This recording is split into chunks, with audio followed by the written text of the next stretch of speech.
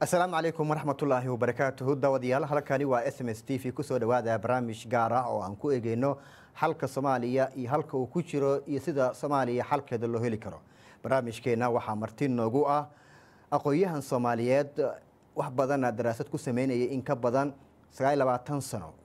Doctor cabdiraxmaan maxamuud maxamed ashtara oo ah aqoon-yahan soomaaliyeed in ka badan labaatan iyo sagaal sanana soo waday daraasad la xiriirta sida xalka soomaaliya loo heli lahaa. Barnaamijka ayuu marti noogu ahayahay islamarkaana waxa aan kala sheekaysan doonaa xalka soomaaliya oo dowladihii dalka soo maray.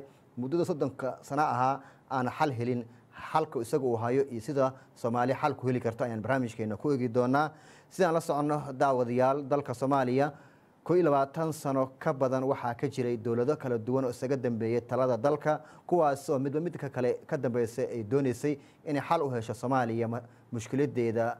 Tan iyo markii soomaaliya ay burburtay. Haddaba xalka soomaaliya halkee ayuu ku jiraa. Waxaa inoo hayo ishtara oo ah aqoon-yahan soomaaliyeed oo barnaamijka marti noogu ah. Marka ugu horeyso ku soo dhawow t v-ga s m s. Waan gartay doctor cabdiraxmaan ishtara markaad eegto xalka soomaaliya soomaaliya waxaa jirtay in dowla badan soo mareen haddii ahlan kuwo kumeel gaara kuwa federaal ah iyo dowladda caadiya. Intoodana xalka soomaaliya maysan helin. Muddo laba iyo labaatan sano ahna waxa ay baadigoobayeen sida xalka soomaaliya midnimadeeda uga faaidsan karto dhaqaalaheeda iyo weliba sidoo kale in dalka soomaaliya uu noqdo dal dowlad rasmi ah oo kheyraadkeeda oo adduunka la jaan looga dhigi lahaa. Adiga sida aad noo sheegtay waxaad haysaa xalka soomaaliya. Bal marka ugu horeyso xalka soomaaliya aada hayso muxuu yahay? Waa mahadsan tahay cabdicasiis. Walaale marka ugu horeysa waxaan ka mahad celinayaa ogolaanshaha adiga ogolaatay idaacadda s m s in aan soomaaliya u jeediyo warbixin siiyo ummadda soomaaliyeed oo dhan dibad iyo gula meelay joogtaba. Soomaaliyey waxaad leedihiin soomaalida hore waa taqaanay dalka. Gabay la tiriyey. Boqol iyo toddobaatan sano ka hor gabay la tiriyey. Waxaa ka muuqata inay soomaalidu waagii hore dalkeeda taqaanay oo khayraadkeeda dabiicigaa taqaanay. Ninkii tiriyey gabaygaan u garan maayo wuxuu ahaa allihii dunida uumaa ku furay duul walbaba meele. Degmadu u kala soocay iyo dawyaday marine. Dhulka dabaxsan baan qolo waliba docun ka yaaliine soomaali looguma daraan deeq eebbahay wax dadkoodu jooga arlada midigu dooro. Soomaaliya waxaan idiin sheegayaa khayraadkiina dabiiciga marka la fiiriyo. Dadka caalamka oo dhan bulshooyinka caalamka ugu hodansan inaad tihiin waxaad caalamkao dhan baa toban kun oo sano biyo siin kartaan. Adinkii xoolihiinuna oon baa u dhimata. Caalamkaad cunno siin kartaan toban kun oo sano adinkii xoolihiinuna gaashaad u dhimataa halkaan hayo waxaa weeye soomaaliyey waxaan idiin soo gudbin doonaa insha allahu tacaala. Haddii allaha awoodda lahu ogolaado inaan idin baro khayraadkiina dabiiciga. Iyo dhibaatadiinu waxay tahay. Dhibaatadiinu waxay tahay marka ugu horeysa afar dhibaato idin haysata afar cuduroo waaweyn baa idin haysta cudurka koowaad waa tafaruq cudurka labaadna waa isnaceeb iyo isdil iyo isdagaal. Cudurka saddexaadna waxaa weeye aqoon-yahankiina iyo culimaauddiinkiina boqolkiiba sagaashan iyo sagaal dhibic sagaal aqoontoodaa ka barxan. Cudurka afaraadna waxaa weeye adinka iyo indhihiinna iyo khayraadkiina dabiiciga darbi madoobaa kala dhexyaan afartaas cudur waxaad kaga bixi kartaan inaad midowdaan maxay idiin jirtaa inaad midowdaan haddaad midowdaan kow nabadgelya imaanayso laba caalamku inuu waddankiina maal gashado baa imaanayso khayraadkiina dabiiciga inta aan hayo boqolkiiba toddobaatan dalkiina khayraadkiisa waan hayaa boqolkiiba toddobaatan. Ogaada haddaad boqolkiiba saddex ka shaqaysataan waxaad koo iyo labaatan ku noqonaysaan waddamada soo korayo labaatanka la yidhaahdo baad koo iyo labaatan ku noqonaysaa boqolkiiba shan keliya haddaad khayraadkiina dabiiciga ka faa'iidaysataan. Waxaa weeye waxaad rikoorka ku jabinaysaan dalka yar oo la yidhaahdo boroneeya. Ilmaha dhasha waxaa loo qoraa afar kun oo dollar. Mushaarac bishii. Adinka ilaa toban kun oo doolar baa loo qoraya ilmaha dhasha. Haddaad boqolkiiba shan ka faa'idaystaan khayraadkiina. Haddaad boqolkiiba toddoba ka faa'iidaysataanna ninka soomaaliya ugu faqiirsano ninka adduunka ugu hantida badan ayuu ka hanti badanaya. Ma taqaaniin khayraadkiine insha allahu tacaala waa idiin soo bandhigi doonaa waraysiyadan waraysyada ka dambeeya. Khayraadkiina haddana waan idiin sawirayaa. Khayraadka aad leedihiin waa sagaal nooc. Waxaa weeye labada nool oo xoolaha iyo dhirta ah kama faa'iidaysataan. Faa'iidada aad ka faa'iidaysataan xoolaha iyo dhirta boqolkiiba hal boqolkiiba dhibic eber eber hal ma dhama labada nool afartaba noole ciidda dhagxaanta macdanta iyo batroolka. Saddexda lagama maarmaan waa biyaha hawada iyo ifka cadceedda sagaalka khayrooda dabiiciga ah. Mid keliya haddaad boqolkiiba toban ka faa'iidaysataan oo sideedda kale aydan ka faa'iidaysan dad hoodanaad wada noqonaysa daraasaddan muddo waday sagaal iyo labaatan sano ah. Markii aad bilowday maxaa kugu dhaliyey markii ugu horreysay inaad bilowdo daraasaddan su'aal fiican. Sabab bay lahayd. Lixdii bisha lixdii bisha luulyo kun sagaal boqol sagaashan iyo saddexdii saddex saaco fiidnimo ayaa waxaan dhegaystay idaacadda b b c da barnaamij baa markuu markuu baxay iyo faaladii markay baxeen baa barnaamij laga soo sii daayey barnaamijkaas filim baa lagu daawaday saddexda hameenkaas saddexda hameena ka horeysa baa london filim lagu daawaday. Filimkaasna magaciisa waxaa la ohan jiray jannadii burburtay. Beera iyo xoolo iyo dhul cagaaran iyo soomaaliya un ka sheekaynahay. Markaan dhegaystay baan su'aal is weydiiyey waxaan idhi filimka waxaan ku raacsanahay soomaaliya inay janno adduun tahay laakiin jannadii ma burburtay mise waa nooshahay waxa ii soo baxday jannadii inaan waxba gaarin aysan burburin. Dad dhintay iyo la fiiqfiiqday iyo waxaan micno lahayn waxba ma dhicin. Laakiin khayraadkii diinaa oo dabiiciga ah waa nool yahay. Inaan bal marka dhibaatada soomaaliya khayraadkeeda inaan baaro iyo dadka mushkiladiisa filinkaas baa igu kalifay magacaas dalkii janno adduun buu soo baxay dadkiina jannaala cadaaban buu soo baxay. Ninka janno iska leh waxaa la rabaa inuu ku jannaysan yahay. Soomaaliya jannay leedahay caalamka wax gaari kara la arag iyo wax soo dhowaan kara isla markaasna waa ka cadaabantahay xalku wuxuu ku jiraa marka soomaaliya inaad madowdaan. Markaad madowdaan barwaaqadiina aan idiin soo bandhigno sidaad doontaan sidaad doontaan sidaad doontaan baa uga faa'iidaysanaysaan waxaydnaan malayn karin oo caqligiina koogi karin oo adinku aad leedihiin oo aydnan ka warqabin oo laydinka qariyey baan idiin bandhigaynaa insha allahu tacaala. Ma jiraan dad aad la wadaagtay oo haddii ahaan madax sare ama dowladihii dalka soo maray ama qof aad dhihi karto aad u soo bandhigtay oo daraasaddaada tusta oo xalka soomaaliya si loo gaaro? Soomaaliya waxa uu xallin kara uu xallin karay hadda ka hor hadda waxaa la haystaa caalamkii oo dhan waa hal qol. Qolkan aan ku jirno oo kale weeye. Waa iska warqabaa aaladan ma jiri jirin. Anigu sannadkii labada kun carta markii loo fadhiyey shirka xalka soomaaliya siduu sida lagu gaari karo oo fikriga oo dhammaystiran baan hayay.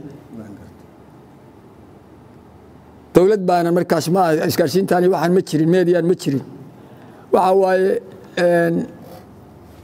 cabdiqaasim iyo cali khaliif gallayr iyo ninka la cabdalla deero isaaq baan warqad isku mid hal beyj oo wada qoray.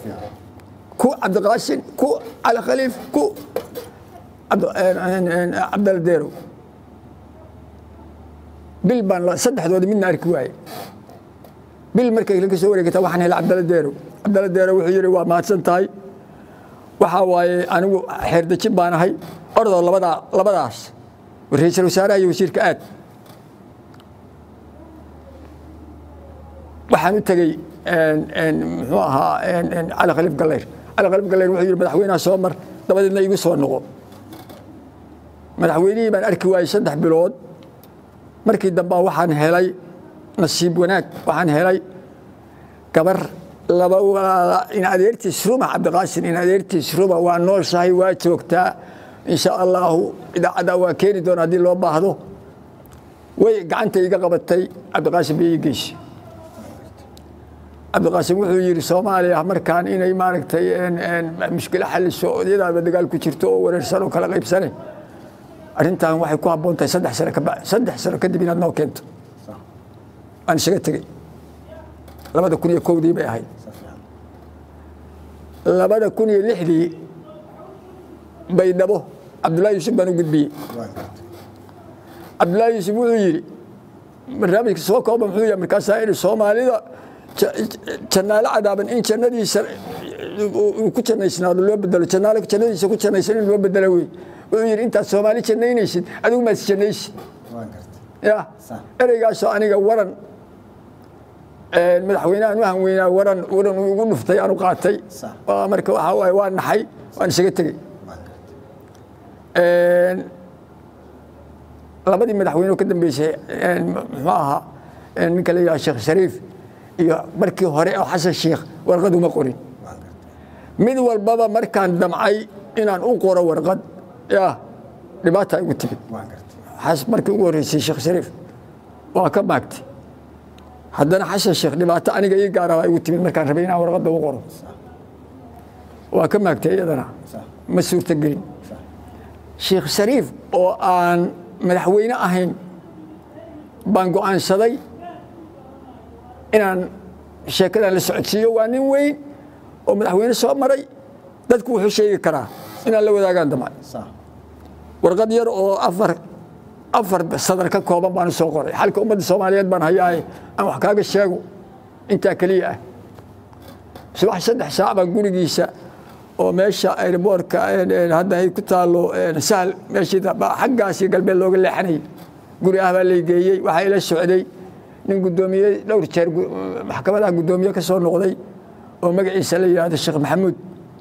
Oo jooga hadda xaadir ah baa ila socday. Saddex saac baan gurigiisa tagnay. Sidii suga loo lahaa oo dad ugu galaayeen oo suga loo lahaa oo dad ugu galaayeen shantii galabnimaa la yidhi waa dhammaatay lama arki karo. Sideed saac baan gurigiisa hortaagnayn anigii sheekh sheekh maxamuud. Hadda xasan sheekh toddoba beri isagoo madaxweyne ahaa toddoba beri markii la doortay labiyo labaatankii bisha shanaad baan warqad u qoray. Warqaddii soddonkii bisha ayaan u gudbiyey waxaan gacanta ka saaray oo weliba ka saxiixay. Ninka magaciisa gudoomiye agaasimo guud ku-xigeenka madaxtooyada maxamed aamiin sheekh baan ka saxiixay.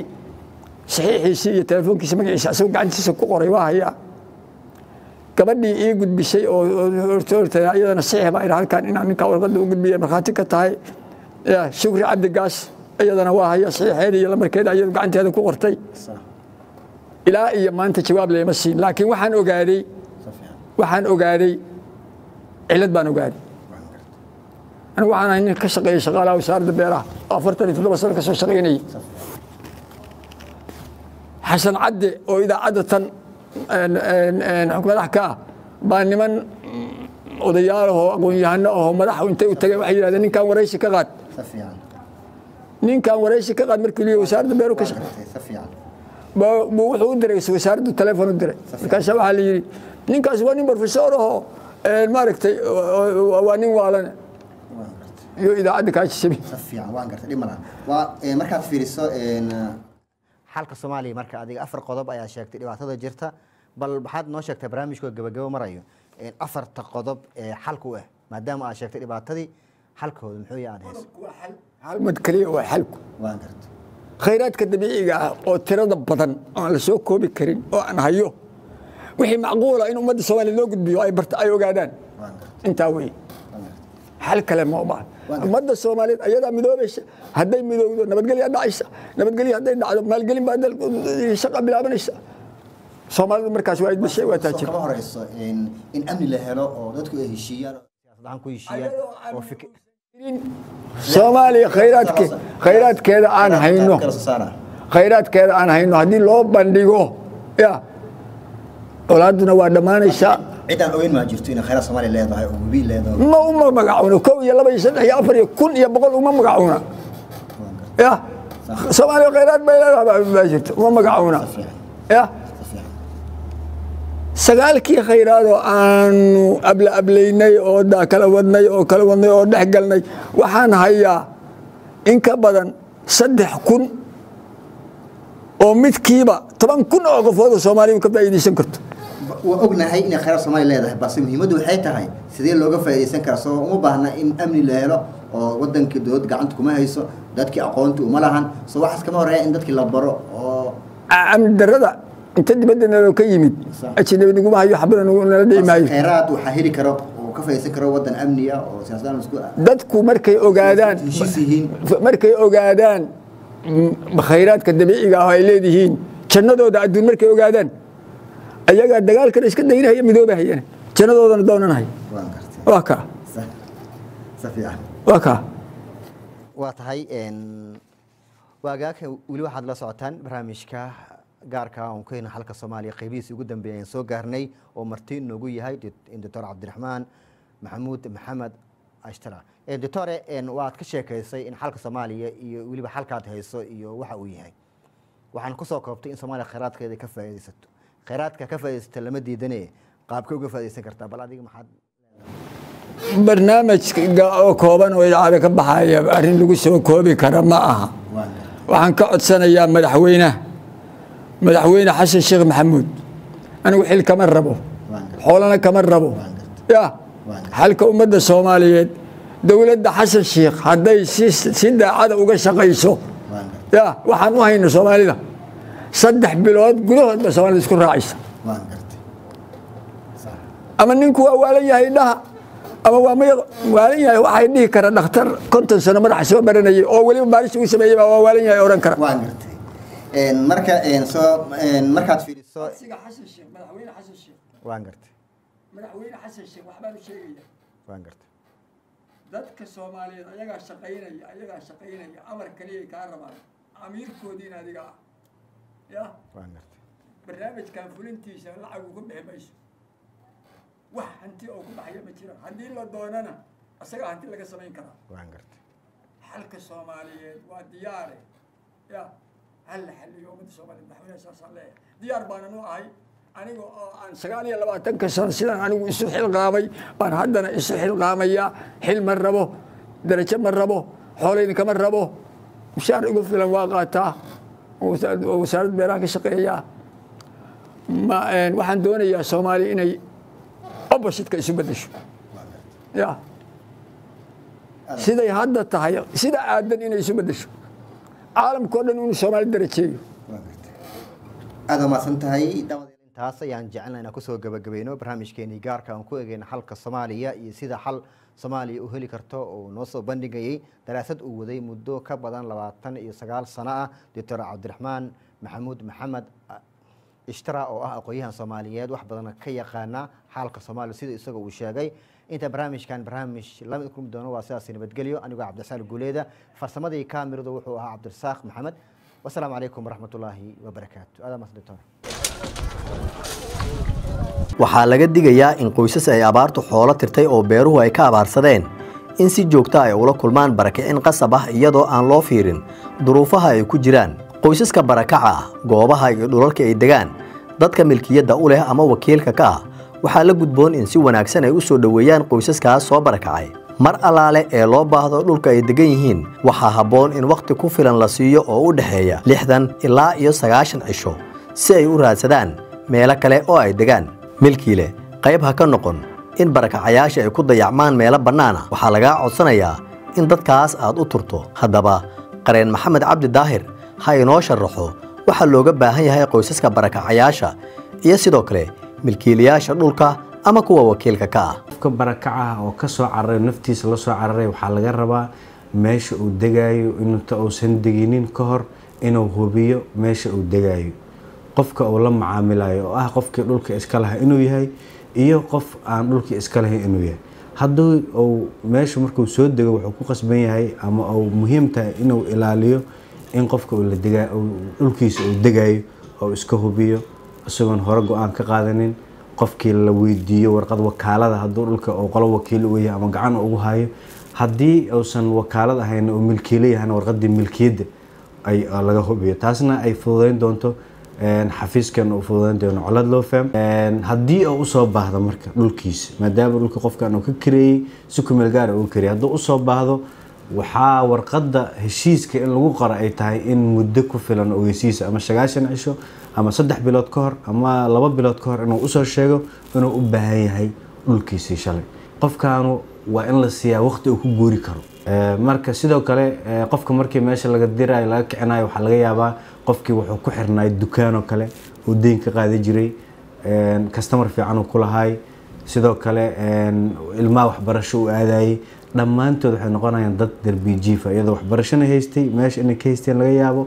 Dukaanay macaamil lahaayeen deyn ka qaadanahayeen laga yaabo. Sababtaas marka waxay tahay in saddex bilood oo fursad loo siiyo qofkan inuu guuristiisa fursad fiican loo siiyo. Soo gudbinta fariintan waxaa idiin suurageliyey hay'adaha n r c iyo i o m oo taageero ka helaya f c d o